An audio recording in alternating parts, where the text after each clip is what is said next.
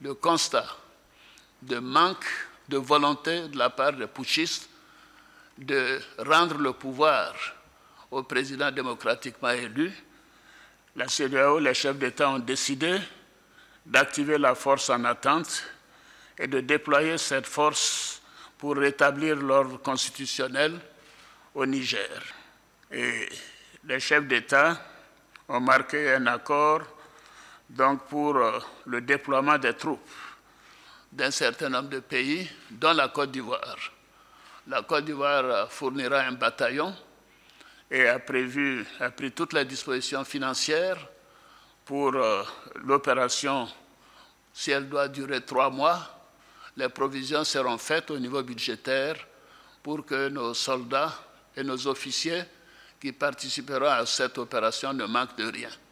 Donc la Côte d'Ivoire est prête. Les chefs d'état-major, je pense, auront d'autres rencontres euh, pour finaliser les choses, mais ils ont l'accord de la conférence des chefs d'État pour que l'opération démarre dans les plus brefs délais. Je voudrais indiquer que ces décisions sont collectives, sont celles de la communauté des États de l'Afrique de l'Ouest. Ce ne sont pas des décisions qu'il faut attribuer à un État, que ce soit le Nigeria ou la Côte d'Ivoire ou le Bénin, ces trois pays déjà ont indiqué leur capacité de participer à cette opération. D'autres pays le feront bientôt. Donc la conférence des chefs d'État tient à le faire savoir que c'est une opération de la CEDEAO, ce n'est pas une opération des Nigérians contre les Nigériens ou des Béninois contre les Nigériens, puisque ces deux pays sont des pays voisins du Niger.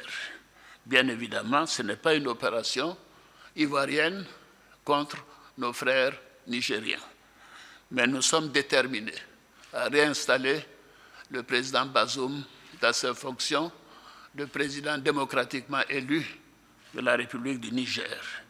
Euh, nous avons réaffirmé aussi que les putschistes seront tenus pour responsables pour euh, tout ce qui pourrait arriver au président Bazoum, à son épouse, aux membres de sa famille et à toutes les personnes détenues avec lui.